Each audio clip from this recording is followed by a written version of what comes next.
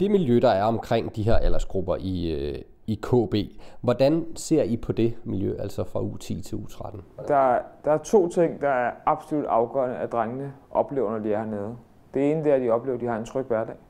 Fordi hvis man ikke er tryg, så kan man ikke udvikle sig. Og det andet det er, at vi samtidig stiller udfordringer til dem. Så tryghed er herude er ikke lige med, at vi bare går ud og tager det stille og roligt, og de får lov at gøre, hvad de vil på banen. De får nogle opgaver, vi stiller nogle gode krav til dem, så de hele tiden føler, at de lærer noget nyt. Fordi det vil børn, når de kommer herud og spiller fodbold. De kommer ikke bare for en opbevaring, men de kommer faktisk, fordi de gerne vil blive bedre fodboldspillere. Hvordan sørger I for at, at gøre det? Det er, at vi i trænergruppen hele tiden analyserer, evaluerer spillerne, sammen med dem, sammen med deres forældre, snakker om, hvordan de kan forbedre sig på hvilke områder. Men så igen, det er jo ikke sådan, at vi går ud og råber og skriger af dem, nu skal I bare gøre det sådan, sådan, sådan. Vi forklarer dem, hvorfor, og vi giver dem nogle øvelser, så de faktisk forbedrer sig på de områder, hvor vi tror, de kan det. Hvis man kigger på, hvordan I griber det an sådan rent pædagogisk, hvad er så principperne bag den måde, I arbejder på? Altså, vi arbejder ud for det, der hedder en anerkendende pædagogik. Det er, at alle skal føle sig set og hørt. Men det er ikke anerkendende, så vi bare står og roser og roser. Det er lidt en misforståelse. Det er, at vi betragter dem som de dejlige drenge, de er. Vi har plads til både den høje, den lave, ham der siger lidt for meget, og ham der er stille. Øhm, men også, at vi, at vi igennem vi anerkender dem, også vurderer deres potentiale og siger, her kan du faktisk blive bedre, og så siger det til ham.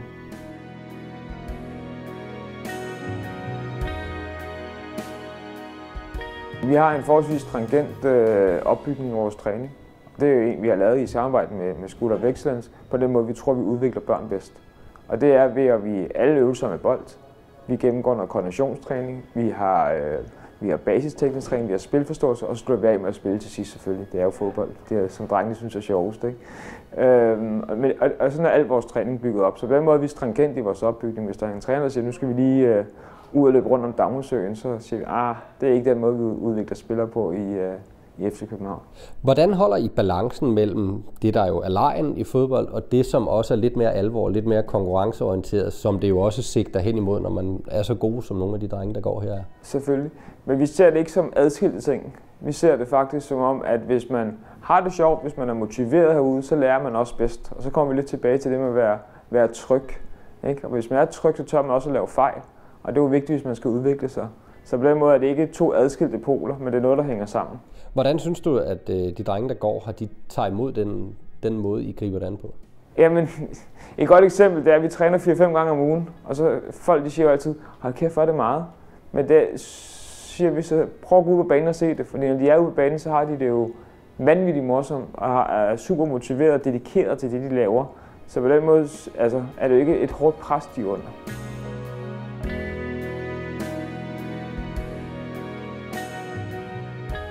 Vi er meget, meget knyttet sammen. Altså, vi, er ikke, vi er ikke to forskellige afdelinger. Vi er en stor klub, som har det samme mål, det er at lave de største talenter til FC København. Øhm, og på den vis bruger vi hinandens ressourcer. Vi har for eksempel en intern træneruddannelse, hvor nogle af trænerne for Skole og Vækstens kommer til KB Børnefodbold og, og, og vidensdeler, hvordan de tror, at vi kan gøre vores miljø endnu bedre. Øh, vi har samme træning på kryds og tværs, så på den måde er vi en integreret del af hinanden i hverdagen. Der kan være forældre, der sidder og tænker, når de hører dig fortælle, at de træner fem gange om ugen, og ja, de har det rigtig sjovt, når de træner. Men hvordan sørger man også for, at der stadig er tid til alt det andet, der skal være tid til i den her aldersgruppe, nemlig at se kammerater og gå i skole og hvad de ellers har at se til? Jeg vil sige det på den måde, selvfølgelig er der plads til det. Der er selvfølgelig plads, hvis der er en, der er en rund fødselsdag i familien. Der er også plads til, og hvis, hvis der er en, øh, en meget stram tidspunkt i skolen, hvor de bliver nødt til at lave lektier.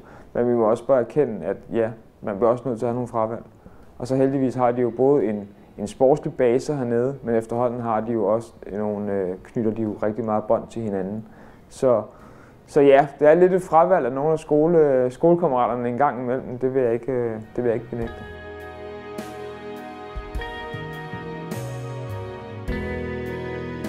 Hvad er en succeshistorie for jer i forhold til en dreng, der kommer her og spiller fodbold?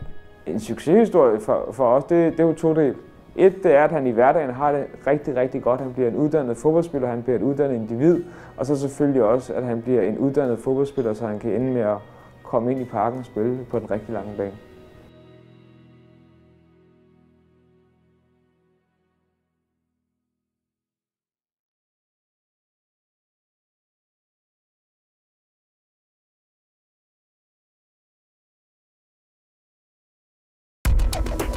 Programmet præsenteres af Unibet, sportsbetting på mobilen.